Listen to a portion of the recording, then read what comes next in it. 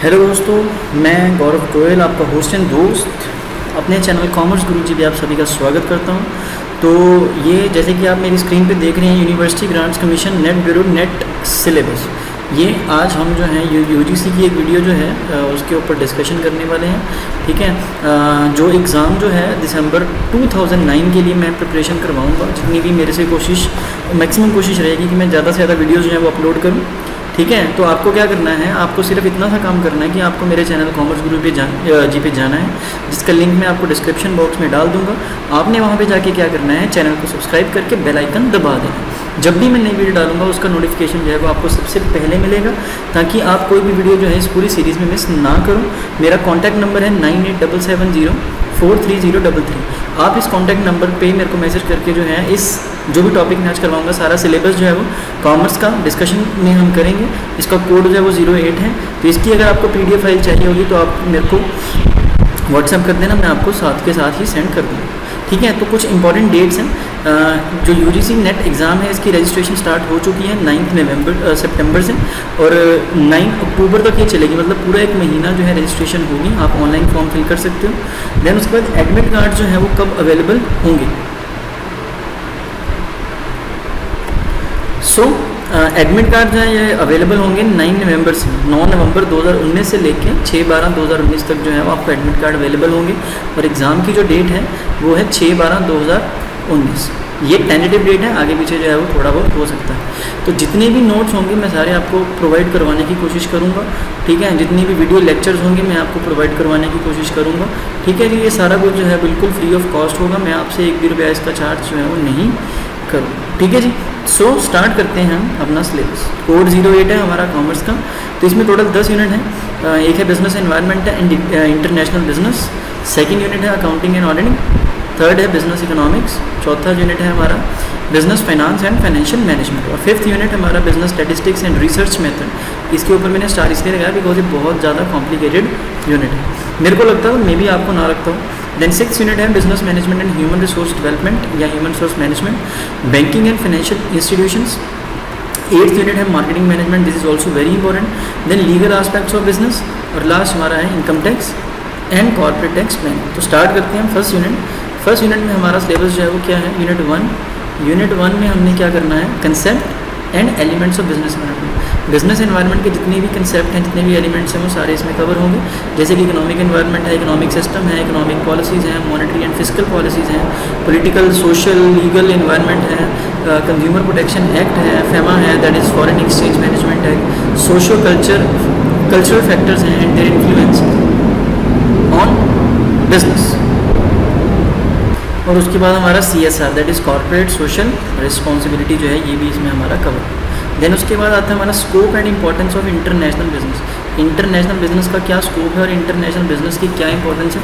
Globalisation भी हमने इसमें करना है और ग्लोबलाइजेशन को चलाने वाले ड्राइवर्स मतलब कौन सी चीज़ें ग्लोबलाइजेशन को चलाती हैं? Then modes of entry into international business कि किस तरीके से आप इंटरनेशनल बिज़नेस में एंटर कर सकते हैं?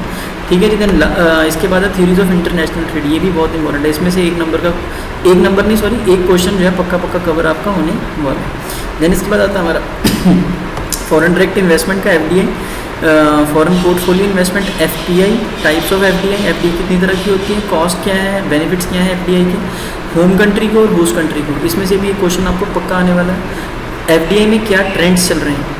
इंडिया की एफ़ पॉलिसी क्या है? ठीक है then balance of payment importance and components of balance of payment एक क्वेश्चन इसमें से पक्का आएगा। देन रीजनल इकोनॉमिक इंटीग्रेशन जिसमें लेवल्स करने हैं आपने levels of regional economic integration trade creation divers diversion effects regional trade agreements are जिसको आप कहते हैं then European Union Asian SAARC NAFTA इनमें से भी एक क्वेश्चन जो है आपका पक्का।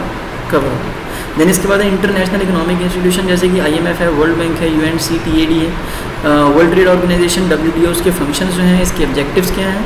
Agricultural agreement GATS TRIPS trends ठीक है? तो ये भी बहुत इंपॉर्टेंट है, इनमें से भी एक क्वेश्चन जो है, आपको पक्का पेपर में दिखेगा ठीक है जी तो स्टार्ट करते हैं यूनिट टू यूनिट टू जो है, वो अकाउंटिंग के ऊपर बेस्ड है। Basic accounting principles concept and postulates इसमें से एक क्वेश्चन आपका पक्का कवर होगा। देन उसके बाद पार्टनरशिप अकाउंट्स है एडमिशन है रिटायरमेंट है डेथ है डिजोल्यूशन इंसॉल्वेंसी पार्टनरशिप फॉर्म ये भी बहुत इंपॉर्टेंट इसमें से भी शायद एक क्वेश्चन जो है वो आ जाए। Corporate accounting issue share uh, issue of shares forfeiture and reissue of shares liquidation companies acquisitions merger amalgamation reconstruction of the companies इसमें से भी एक क्वेश्चन जो है वो 100 परसेंट कवर होता है और वो प्योर थेरेटिकल क्वेश्चन होता है। देन इसके बाद आता है हमारा होल्डिंग कंपनीज़ का। होल्डिंग कंपनीज़ अकाउंट्स देन इसके बाद cost and management accounting marginal cost break even analysis standard costing budgetary control process costing activity based जिसको आप ए बी सी कॉस्टिंग कहते हैं A B C costing for decision making life cycle costing target costing kaizen costing ये बहुत important है and G I T G I T का मतलब है जस्ट इन टाइम तो ये केजन और जो जस्ट इन टाइम अकाउंटिंग है बहुत इंपॉर्टेंट है। एक क्वेश्चन जो है इसमें से पक्का आपका कवर होगा. देन इसके बाद है फाइनेंशियल स्टेटमेंट एनालिसिस इसमें आपने रेशो करना है फंड फ्लो स्टेटमेंट और कैश फ्लो एनालिसिस है देन इसके बाद है ह्यूमन रिसोर्स अकाउंटिंग उसके बाद इन्फ्लेशन है अकाउंटिंग इन्वायरमेंटल अकाउंटिंग इंडिया के जो भी अकाउंटिंग स्टैंडर्ड्स हैं और IFRS international financial reporting system एक क्वेश्चन आपको इसमें से भी पक्का देखने के लिए मिलेगा. देन इसके बाद auditing independent financial auditing vouching verification valuation of assets and liabilities audit of financial statements then इसके बाद आता है हमारा audit report cost audit recent trends in auditing management audit ये बिल्कुल रिसेंट ट्रेंड है, नया, नई चीज़ है energy audit environment audit system audit and safety audit ठीक है, ये यूनिट टू था हमारा, इसके बाद यूनिट थ्री है। ठीक है, मैं थोड़ी सी फास्ट इसलिए करवा रहा हूँ बिकॉज़ वीडियो ज़्यादा लंबी हो जाएगी फिर। ठीक है यूनिट थ्री में हमारा बिज़नेस इकोनॉमिक्स है मीनिंग और स्कोप है बिज़नेस इकोनॉमिक्स का ऑब्जेक्टिव हैं बिज़नेस फॉर्म्स के डिमांड एनालिसिस है लॉ ऑफ़ डिमांड है elasticity of demand and its measurement relation between average revenue and margin revenue A R and M R then consumer behaviour जिसमें utility analysis है cardinal और ordinal दोनों। इनमें से भी एक क्वेश्चन पक्का आएगा, इनमें से दो क्वेश्चन आ सकते हैं। ठीक है then law of variable proportion and law of returns to scales then theory of cost short run and long run cost को price determination under different market form जैसे कि परफेक्ट कॉम्पिटिशन है मोनोपोलिस्टिक कॉम्पिटिशन है oligopoly है price leadership model है, ठीक है monopoly है प्राइस डिस्क्रिमिनेशन है और प्राइसिंग स्ट्रेटजी दो तरह की प्राइसिंग स्ट्रेटजी होती है, जो मेन है प्राइसिंग स्कीमिंग स्ट्रेटजी और प्राइस पेनिट्रेशन और एक है पीक लोड प्राइसिंग ठीक है तो ये यूनिट थ्री था हमारा, इसके बाद यूनिट फोर आता है बिज़नेस फाइनेंस बिज़नेस फाइनेंस जो है, उसमें क्या है? Scope and sources of finance lease financing एक क्वेश्चन पक्का इसमें से आएगा। Cost of capital and time value of money एक क्वेश्चन इसमें से पक्का आएगा। कैपिटल स्ट्रक्चर का एक क्वेश्चन 100 परसेंट आपको मिलेगा पेपर में। कैपिटल बजटिंग डिसीज़न जिसमें कन्वेंशनल एंड साइंटिफिक टेक्निक्स हैं कैपिटल बजटिंग एनालिसिस की। देन वर्किंग कैपिटल मैनेजमेंट जिसमें डिविडेंड डिसीज़न हैं हमारे। ठीक है, और थ्योरीज हैं पॉलिसीज़ हैं। रिस्क एंड रिटर्न एनालिसिस जिसको आप बोलते हैं asset securitisation international monetary system foreign exchange market जिसमें एक्सचेंज रेट रिस्क है हेजिंग टेक्निक्स हैं। हेजिंग का क्वेश्चन बहुत बार पेपर में आता होता है तो इसका भी क्वेश्चन मान के चलो पेपर में आने के चांसेस हैं। देन इसके बाद आता है हमारा international financial markets and instruments जिसमें euro currency ji global depository receipts and American depository receipts एक क्वेश्चन इसमें से भी आपको पक्का देखने को मिलेगा। देन इसके बाद आता है international arbitrage multinational capital budget ठीक है? सो ये यूनिट फोर था हमारे इसका यूनिट फाइव है। Business statistics and research methods मेरे लिए ये हॉरर था। ये वाला यूनिट मेरे लिए सबसे बड़ा खतरा था हॉरर था। ठीक है? जब मैं यूडीसी करता था मैंने यूडीसी जो है वो दो बार क्वालिफाई किया हुआ। ठीक है? तो मेरे को ये बहुत ज़्यादा मुश्किल लगता था। ठीक? सो so, इसमें क्या है? सबसे पहले मेजर ऑफ़ सेंट्रल टेंडेंसी है सिंपल मेजर ऑफ़ डिस्पर्शन है बिल्कुल सिंपल मेजर ऑफ़ स्क्यूनेस एक क्वेश्चन इसमें से पक्का आएगा और इन दोनों में से एक क्वेश्चन पक्का आएगा। Then correlation and regression of two variable इसमें से एक क्वेश्चन पक्का। Probability approaches to probability Bayes theorem then probability distribution binomial Poisson and normal distribution normal distribution से भी एक क्वेश्चन जो है वो आपको पेपर में आ सकता है। Then research concept and research designs data collection and classification of data ये भी एक क्वेश्चन जो है आपको देखे जाएगा। बहुत इजी होता है। इसके बाद जो probability and non probability sampling methods हैं सैम्पलिंग डिस्ट्रीब्यूशन हैं सेंट्रल लिमिट थ्योरम है स्टैंडर्ड एरर स्टैटिस्टिकल एस्टिमेशन तो मेरे हिसाब से इन, इस पूरे पार्ट में आपको दो क्वेश्चन जो है वो मिल जाएँगे paper then hypothesis setting Z test T test ANOVA chi square test ठीक है? काई स्क्वेयर के बाद मान विटनी टेस्ट जिसको आप यू टेस्ट कहते हैं क्रूस्कल वॉलिस टेस्ट जिसको एच टेस्ट कहते हैं देन रैंक कोरिलेशन और लास्ट में आता है रिपोर्ट राइटिंग रिपोर्ट राइटिंग में से भी एक क्वेश्चन जो है वो मिल सकता है, चाहे पेपर वन में मिल जाए, चाहे पेपर टू या थ्री में, किसी में से भी जो है ये क्वेश्चन आ सकता है। तो ये फिफ्थ यूनिट में देन उसके बाद यूनिट सिक्स है हमारा। यूनिट सिक्स जो है, उसमें क्या है business management and human resource management बहुत सिंपल है। Principle and functions of management ये पूरा थ्योरेटिकल जो है वो बेस्ड है। इसमें पूरी थ्योरी होगी आपकी principles and functions of management plus two class का। ठीक है? उसके बाद है organisational structure formal and informal उसके बाद responsibility and authority delegation of authority and decentralisation एक क्वेश्चन इसमें से आएगा पक्का। Then motivation and leadership concept and theory एक क्वेश्चन तो इनमें से पक्का कम से कम आएगा। ठीक है? कॉर्पोरेट गवर्नेंस एंड एथिक्स इसमें से भी एक क्वेश्चन आ जाएगा। Human resource manager management concept role and functions of human resource management human resource planning recruitment and selection training development succession planning बहुत इंपॉर्टेंट है। एक क्वेश्चन इसमें से भी आपको देख सकते हैं। ठीक है देन इसके बाद है कंपनसेशन मैनेजमेंट और उसके अलावा जॉब एवेल्यूशन है इंसेंटिव और फ्रिंज बेनिफिट है। इनमें से भी क्वेश्चन आ सकता है। Performance appraisal including 360 degree performance appraisal जो 360 परफॉर्मेंस अप्रेजल है ना, ये भी बहुत इंपॉर्टेंट है। इसमें से भी एक क्वेश्चन जो है वो आने के पूरे पूरे चांसेस हैं। देन इस बाद collective bargaining and workers participation in the management then personality perception and emotions group dynamics power and politics conflict negotiation stress management इसमें से भी आपको एक क्वेश्चन जो है वो श्योरली पेपर में आए। देन इसके बाद आता है हमारा organisational culture organisational development and organisational change ये भी बहुत इंपॉर्टेंट है, इसमें से भी क्वेश्चन आ सकता है। तो ये यूनिट सिक्स था हमारा, इसके बाद यूनिट सेवन है। यूनिट सेवन में क्या है? बैंकिंग एंड फाइनेंशियल इंस्टीट्यूशन इसमें क्या है? ओवरव्यू ऑफ़ फाइनेंशियल सिस्टम कि जो हमारा फाइनेंशियल सिस्टम है, उसको ओवरव्यू करना। Then types of banks commercial banks है इसमें regional rural banks foreign banks cooperative banks then सबसे इंपॉर्टेंट आर जो ऊपर वाला पार्ट है ना, ये वाला जहाँ पे मैं मार्क कर रहा हूँ, अभी इसमें से भी क्वेश्चन आएगा। आरबीआई के रोल उसके मॉनेटरी पॉलिसीज़ जो हैं, उसमें से भी एक क्वेश्चन पक्का आएगा। Banking sector reforms in India इसमें क्या है? बेसल नॉर्म्स हैं रिस्क मैनेजमेंट है एनपीए मैनेजमेंट है। देखो बेसल नॉर्म्स जो है ना, बहुत डिटेल में करवाऊँगा मैं आपको।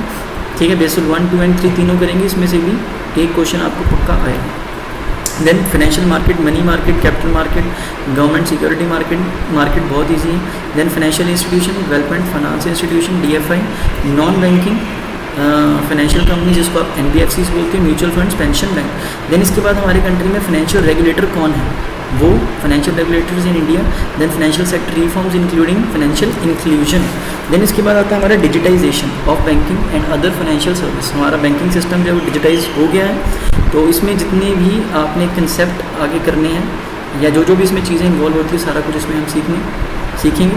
इंटरनेट बैंकिंग है मोबाइल बैंकिंग है, इसमें से भी क्वेश्चन आ जाता होता है of insurance life and non life insurance risk set classification and management then factors limiting the insurability of risk reinsurance regulatory framework of insurance I R D A and its rule ठीक है जी, ये unit seven था हमारा। Then इसके बाद unit eight है, बहुत important जैसे कि मैंने मार्क भी किया हुआ।